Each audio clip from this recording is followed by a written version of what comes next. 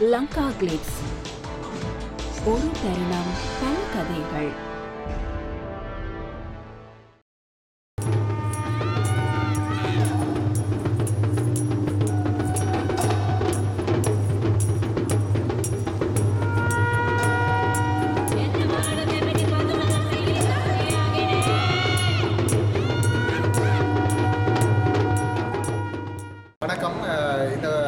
அசோக ஹந்தகம் இயக்குனர் அசோக ஹந்தகமுடைய இந்த அல்பரோடா திரைப்படத்தினுடைய உதவி இயக்குனர் நான் அதீஸ்வரன் இந்த படம் வந்து ஆயிரத்தி தொள்ளாயிரத்தி இருபத்தி இருபதாம் இருபதுகளில் வந்து இலங்கையில் சிலி நாட்டினுடைய ஒரு கன்சலர் ஜெனரலாக இருந்த மிக உலக புகழ் பெற்ற ஒரு கவிஞர் டப்ளோ நெருடானுடைய கதையை பாத்திரமாக அடிப்படையாக வைத்து எடுக்கப்பட்ட இந்த திரைப்படம்.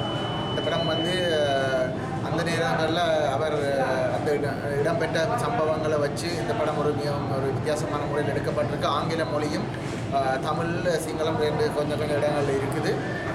அந்த நேரம் வந்து ஆங்கிலேயர்களால் இங்கே இலங்கை கூடி வரப்பட்ட இந்திய தமிழர்கள் எவ்வளோ அந்த அவரோட சேர்ந்ததாக இந்த கதை வந்து நகர்ந்து கொண்டு போகுது. நல்ல ஒரு படம்.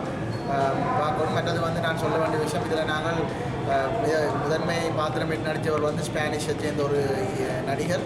அதை விட மற்ற நடித்தவர்கள் வெளிநாட்டை சேர்ந்த யூரோப்பியன் ஆக்ட்ரஸ் எல்லாம் நடிச்சிருக்காங்க அவங்களோட வந்து வேலை செய்ய ஏதோ ஒரு காத்திரமான ஒரு அனுபவத்தை எனக்கு கொடுத்தது. நான் இயக்குனர் அசோகந்தகமோட இதுவரையும் கிட்டத்தட்ட ஒரு ஐந்து படங்கள் உதவி இயக்குனராக வேலை செய்திருக்கிறேன். ஸோ மிகவும் முக்கியமான ஒரு படமாக இந்த படம் இருக்கும் என்னுடைய உதவி இயக்குனர் பணியிலே மிக முக்கியமான படமாக இது இருக்கும் நீங்கள் கூறியிருந்தீர்கள் பலதரப்பட்ட நடிகர்கள் பங்கு பெற்றிருந்தோம் ஆனால் நாங்கள் திரைப்படத்தை பார்க்கும் பொழுது இதில் சப்போர்ட் ஆர்டிஸ்ட் நிறைய பேர் இருந்தாங்க. அவங்களாம் யார்?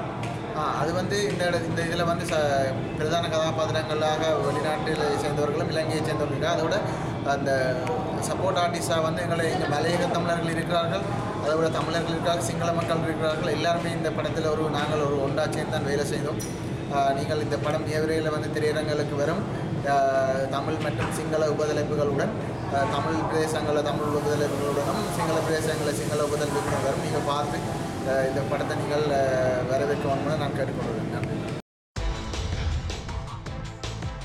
லங்கா கிளிப்ஸ் ஒரு தருணம் பல கதைகள் Subscribe now.